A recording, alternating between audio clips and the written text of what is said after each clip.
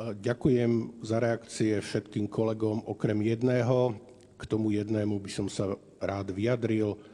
Pán poslanec Uhrík, asi došlo k nejakému nedorozumeniu, možno je chyba na mojej strane, že som to nepovedal dostatočne zrozumiteľne.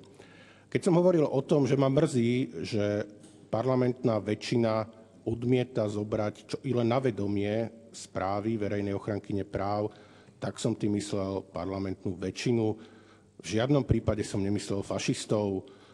To, ak niekto pohrdá ľudskými právami tak ako vy, ak niekto šíri nenávisť tak ako vy, keď sa niekto hlási k nacistickým symbolom typu 1488 eur ako vy a váš predseda, od toho pochopiteľne nemožno očakávať, že by zobral na vedomie niečo také, ako je správa o dodržiavaní ľudských práv.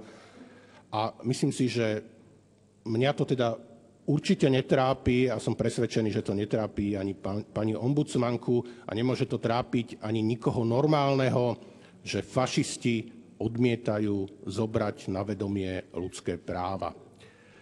A to, čo je smutné, je niečo iné. Je, že ako sa Smer v predchádzajúcom volebnom období správal k verejnej ochrankyni práv a k jej podnetom a to, ako sa aj dnes poslanci a politici politických strán, ktoré sami seba označujú za štandardné a za hrádzu proti extrémizmu, správajú k odporúčaniam verejnej ochranky práv.